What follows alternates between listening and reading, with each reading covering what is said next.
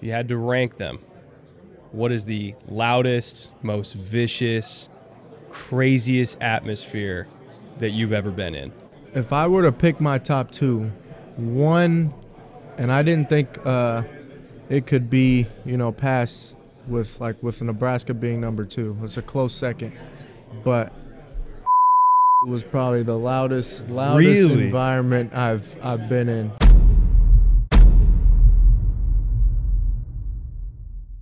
Louisville's own Isaac Guerendo with us, one of my favorite running backs uh, in this entire class, especially for teams that run outside zone. Very few people can hit it like this man right here.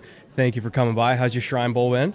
Um, it's it's been awesome. You know, it's a great experience. Probably, a, you know, it's obviously a, a once in a lifetime experience. But you know, just being here, you know, em- embracing it all. You know, all the interviews. You know, it's obviously the first time you're able to get you know a little bit of feedback from scouts. You know, actually hear it from them. So you know, it's it's been awesome. So I'm sure you've been getting a lot of feedback, especially about speed. And we're going to talk about speed a little bit because high school track champ, correct? Yeah, yep.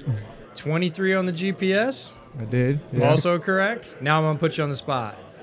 Faster than Jonathan Taylor? Oh, I hate this question. True, false? It's a tough one. You know, just because you know he wouldn't, you know, I'm just gonna go with we're we're the same speed. We're we're very very similar. Yeah. We've raced a couple of times. You know, it's always always neck and neck. Okay. All right, I'll take that. Very diplomatic Yeah, answer. I appreciate that. but to be even in the same neighborhood puts you in a rare skill set at your size. Don't typically find that much speed combined with that much size. And as a result, as we're talking about, teams that run outside zone, and there's plenty in the NFL. Have scouts been talking to you from those teams, and, and how do they feel about your game, and especially because you bring that aspect? Um, yeah. So schematically, you know, obviously, you know, that's that's really my type of game. You know, just a one one cut type guy. But um, you know, I think one thing that really does help me, you know, is like you know, I am 220 pounds, but you know, I think maybe you know some defenses, you know, like he, he can't run because he's he's a big guy. You know, he's just a short short yardage guy. But you know, when I when I do hit the accelerator, you know, I can run a little bit. So you know, I think it helps me out. You know, forces a few poor angles, which is which is definitely helpful for me. Yeah, I've seen you break a few. Something that I've really liked about your game is your feet, which a- as a bigger back, there's a lot of bigger backs where, no disrespect to them, you know, turn like a battleship. You're not one of those. You got you got a really really good skill set when it comes to footwork, not just in terms of being able to press it front side, but also the actual footwork that you have to hit it backside and like really run off that hip of your center on the cutbacks. How long did it take you to train your feet to be that quick? There's that piston quickness to go from we're pressing to we're cutting instantly. Uh, yeah. So for me, you know, like footwork, you know, being a bigger guy is, you know, something that I definitely focus on like a lot more. I feel like, you know, as far as drill work, you know, whatever that may be. But um, you know, just being being able to do a lot of that over the work or over the years, you know, just just helped me develop that that specific aspect of my game. And then, you know, I feel like, you know, just less is best with me. You know, that's one cut, you know, usually for me, you know, maybe a one, two here and there, but, you know, never really too much. Um, you know, and I kind of pride myself on that. You know, I feel like that's really just what works best for me, you know, what's what's most efficient. So, you know, I kind of just stick by that. And you know, you, you mentioned less is best.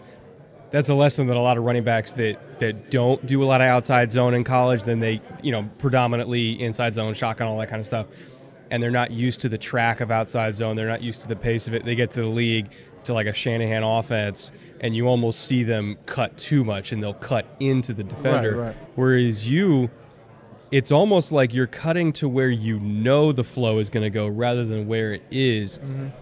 Was that something that you had to develop throughout college? Or you just always had that kind of spatial awareness of like, I'm going to aim to where I know the hip is going to be. Um, definitely a, a development thing, I would say. You know, obviously, starting out as a, a receiver in high school, transitioning to running back in college, you know, there's a big, big learning curve there. Um, so kind of learning that, but you know, having mentors, you know, like Jonathan Taylor, you know, playing with him for two years, you know, being able to learn from him. But you know, at the same time, like I said, you know, size comparison, you know, we're both 220 pounds, but you know, we're very similar as far as I mean. I would say that's another reason why I kind of look at, at him as a model running back. But you know, not only on the field but off the field as well. You know, he's a, he's a great guy. But um, yeah, just like I said, you know, just being that kind of one one cut type guy, um, you know, is something that definitely developed over the years. You know, when I first came in, um, you know, running back was you know was foreign to me. You know, Mhm. learning protections, learning you know how to runs hit, stuff like that. But you know, once I was able to get reps and opportunities, you know, that was something that you know I kind of learned and picked up on. I wanted to talk to you about a couple of complementary pieces to your game, and you already leaned towards one of them. You said you're a receiver in high school. Yeah. So I wanted to talk about your approach for receiving because a lot of outside zone backs they're going to turn that into a swing instead of a pitch. You're going to have to catch the ball. Talk about your development as a receiver, but it sounds like it started in high school.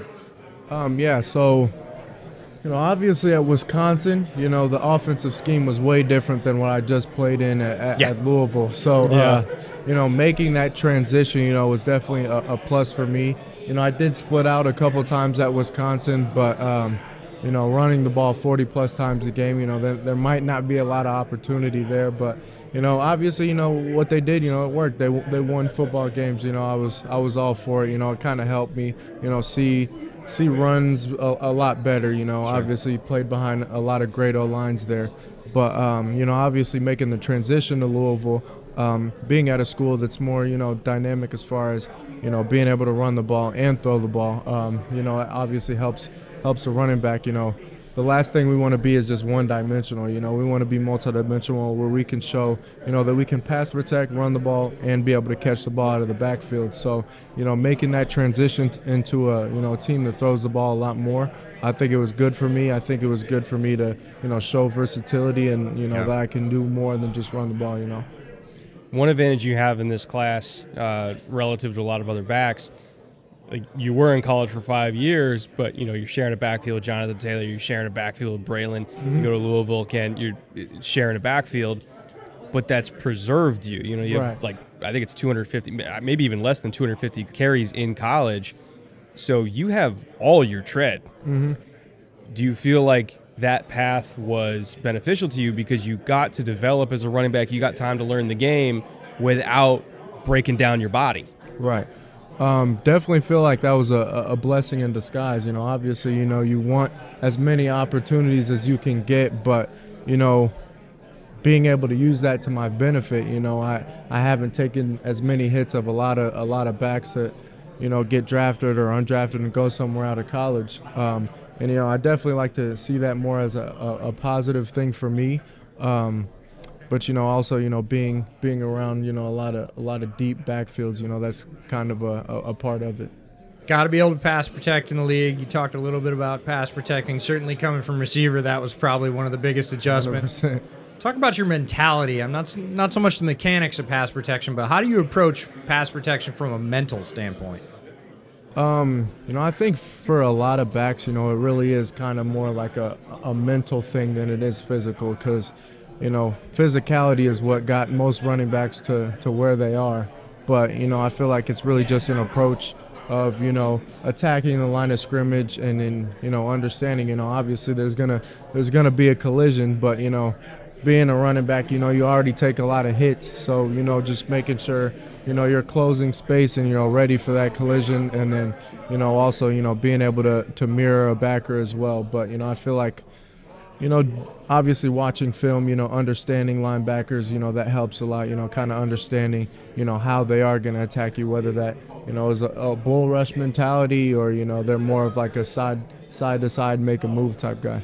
In terms of special teams, because you're a, a background as a receiver, but you're also super physical. Are you getting questions from special teams coordinators about being a gunner and a returner, like, and just kind of all four special team, all four core special teams, like being key components to all of them?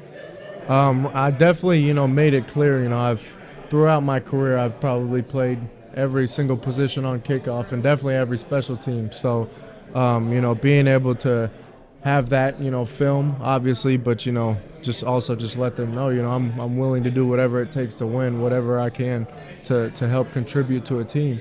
Um, you know, whether that's on offense, you know, whether that is special teams, you know, I'm I'm willing to do it. And I think, you know, a lot of guys, you know, early on, they get caught up in, you know, like I think I should be playing at my position, you know, but you know, they kind of overlook the special teams, you know, if they think they're too good for it, but you know, in reality, you know, I'm I'm all for it. I'm willing to do whatever it takes. You're going to face uh, a, a, lot of loud crowds in the NFL, right? Every stadium's going to be packed every yep. single weekend.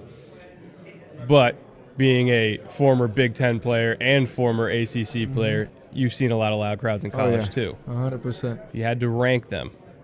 What is the loudest, most vicious, craziest atmosphere that you've ever been in?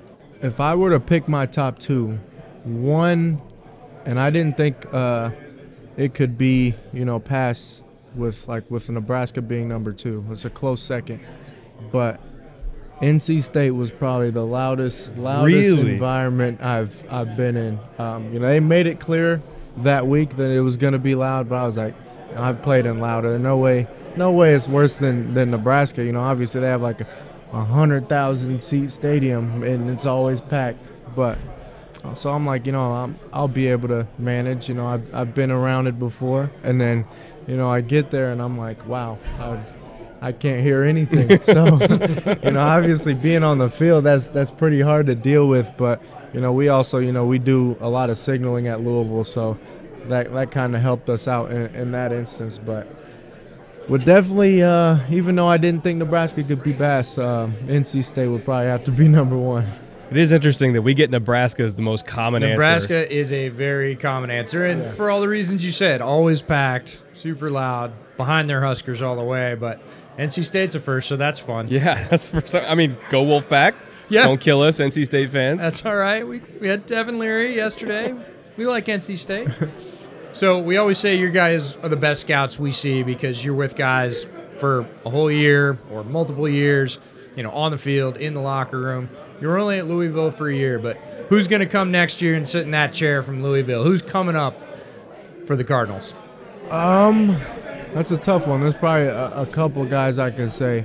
Um, I'll go in my room for this one though. Uh, Maurice Turner, you know, he's he's one of the most God-gifted athletes you know I've been a part of. Uh, man, you know his his contact balance, you know, comparison with his speed, but you know power as well. Um, I'm really excited for him this next season. You know, I think he's going to have a breakout year, and you know I think it's going to be big for him, and I'm I'm looking forward to for people to watch him for sure. Well, I can't wait to see where you go in the NFL. Uh, I'm sure 49ers, Dolphins, Rams, one of those teams are going to pick you up, and you're going to be highly productive there. Again, one of the best, if not the best, outside zone runner in this class. And I, I say that with all due sincerity. You're a special back uh, in that. that. kind of system. Can't wait to see where you go. Thank awesome. you so much for coming. It was a pleasure, man. Appreciate you. Isaac, thanks for coming by. Thank you. Thank you, guys.